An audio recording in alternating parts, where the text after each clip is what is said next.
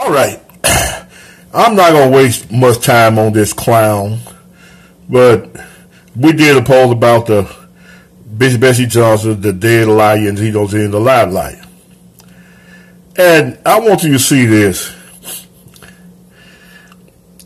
And this is, this clown say, his head in this, the Truth of God broadcast. He said, you're not making any sense, show me scriptures.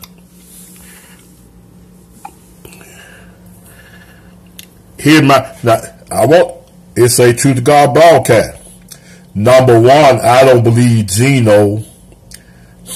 A lot of people take his videos and make their own, you know, make themselves out to be a false prophet off of that false prophet name.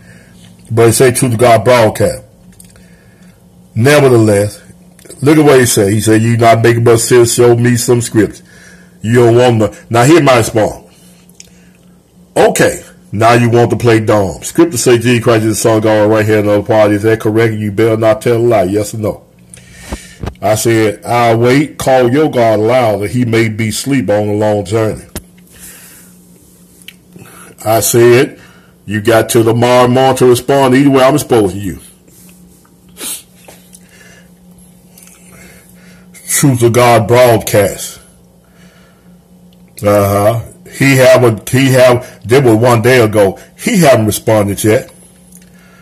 And for any, for any of you, for any of you other frauds out there, the real truth of God, we already stopped, uh, uh, Tony Harvey's mouth. We stopped his mouth. Praise God. Hallelujah. Any of the rest of you, we, we stopped that fat boy well, well I'm sorry, that, that wasn't nice. But, uh, uh, what's it, uh, All Live 64, Tiny Tim Smith, all the rest of you, hallelujah, you gonna, you gonna answer, and you better not tell a lie. But anyway, that's enough of that. That's enough of that.